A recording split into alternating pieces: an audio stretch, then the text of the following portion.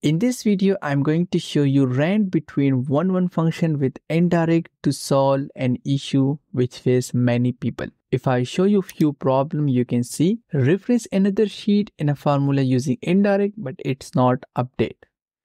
How can I force indirect to update when I add new sheet? And few more people also face indirect similar problem. Now in this video, I'm going to show you a very simple solution which you can use with your indirect formula you created. If I click on B2 cell, here is a simple formula. A2 is the reference of sheet name. If I click on one one sheet, you can see a dummy data set of daily sale. I want to sum all of column B when I add new sheet. So one one 136 is the sum, but when I add 1 to sheet, I want automatically to calculate the sales. What the problem people facing if they add another sheet? So I'm just going to right click, duplicate. Now, if I just rename it, let's say 1 dash 2, hit enter. If I go to simple, here is a 1 dash 2, but it's not recalculating the data. If I even update my data, let's say 100, and if I switch to simple sheet, it's not recalculating. This is what many people ask how to solve this issue.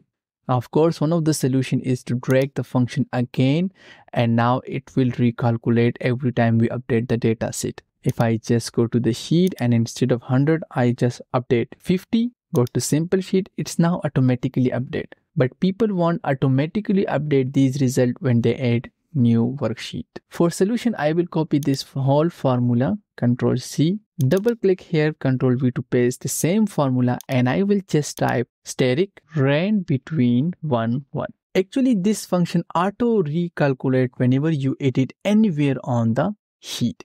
If I just hit enter, it will return the same result if I drag this formula. Of course, we have also reference error for the sheet we don't have.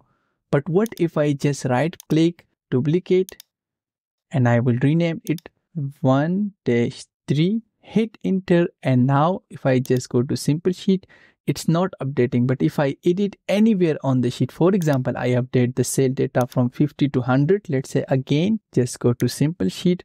Now this has been updated while our old function result is not updated. Now this is very useful for us. So you can use rand between 1 1 with any function you created. For example, if I expand my complex indirect function on which I use VLOOKUP indirect and some VLOOKUP function just to recalculate the individual cell as well for all of the size. If I just update this function and add rand between 1 1 for example static rand between 1 1 Close the parenthesis, hit enter and I will just drag this function to the right and also to the bottom. Since I already adjust the reference and now if I add another sheet for example right click duplicate rename it let's say 1 dash 4 and I will update the cell data for example 100 go to sample it's automatically update while our old result are still not updated of course, if you don't want to see ref error when you don't have a sheet,